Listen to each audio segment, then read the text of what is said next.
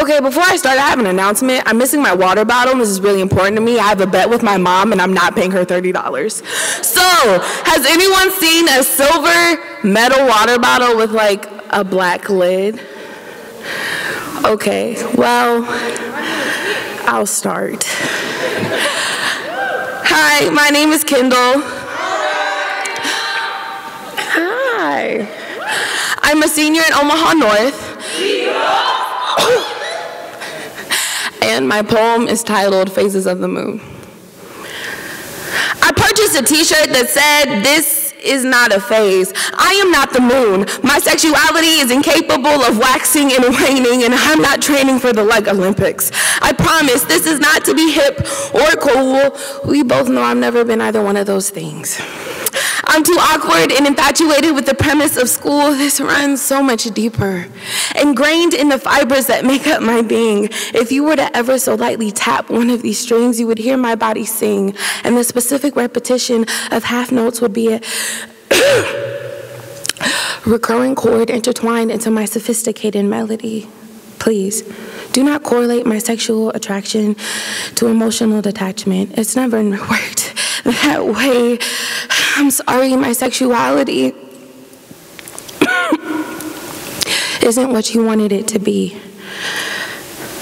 Because logically, of course I would avoid the opposite sex because we don't think the same way. As if I don't interact with him every day because my romantic attraction has never occasionally extended his way. Do not tell me I dated them because it made more sense. Right, because for some mystical reason, our thoughts are supposed to synchronize because we both have vaginas. Like, we not only shared cycles during the waning of the moon, but thoughts.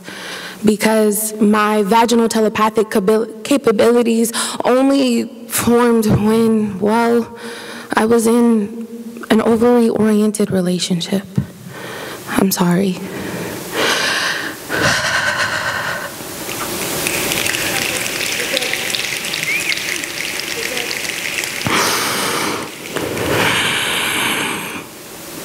By no means have I contemplated my moral compass for so long because the only security blanket I ever had told me everything about me was wrong.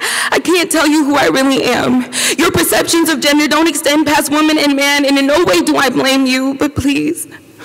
Don't tell me you can dictate my realities because the beginning of them developed in your womb.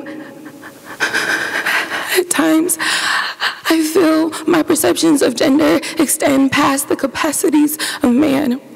They wrap around the universe for an infinite amount of times, and with the growth of the spiral, your outdated mindset falls farther and farther behind. I could simply tell you it's experimentation to calm your overbearing imagination, as if these feelings were falsified feelings, fantasies I envisioned meeting my fancy since the beginnings of my time.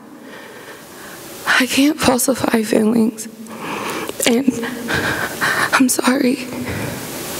I'm sorry I'm not what you wanted me to be.